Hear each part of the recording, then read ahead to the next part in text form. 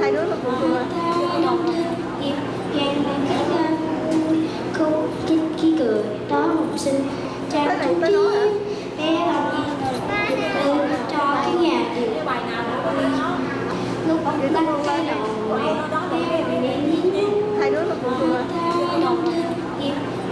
cái gân Khúc kích khi cười đó học sinh Trang trí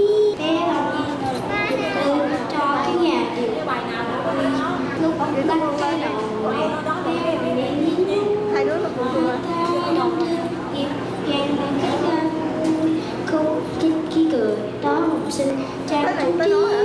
Bé lòng yên cho cái nhà điều Lúc bắt cái đầu bé hai đứa nó cùng kích khi cười đó học sinh tới trí đó